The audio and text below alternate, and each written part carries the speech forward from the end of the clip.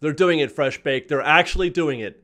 The auctioneer scene in Pirates of the Caribbean at Disneyland is being changed.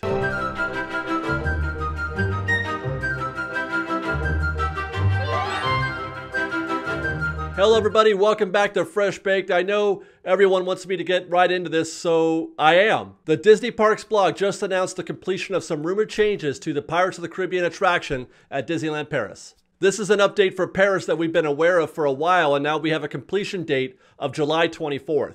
The updated attraction will feature some new additions like Barbossa, Davy Jones, Blackbeard, new special effects, new animatronics, and a whole new scene. An old scene that is being made new again. This is becoming this. And not only is this happening in Paris, the Disney Parks blog confirmed it is happening at Walt Disney World and Disneyland. That's the redhead, you guys, and she's no longer for sale.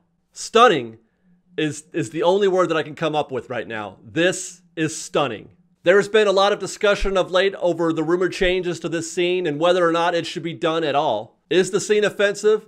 Is Disney responsible for the not so veiled reference to, to prostitution at minimum and possibly, some could argue, human trafficking? Considering how many people were upset about the changes in the past in the following scenes with the poop pirate and the women being chased around by pirates, it's surprising to me that it took this long actually for this change to take place. Politics aside, the real story for me is the fact that what could be argued to be the most iconic scene of any attraction anywhere in the park in Disneyland is going to be rewritten. And when you look at it from that perspective, the inference is very, very clear. Disney was under a lot of pressure to change the scene.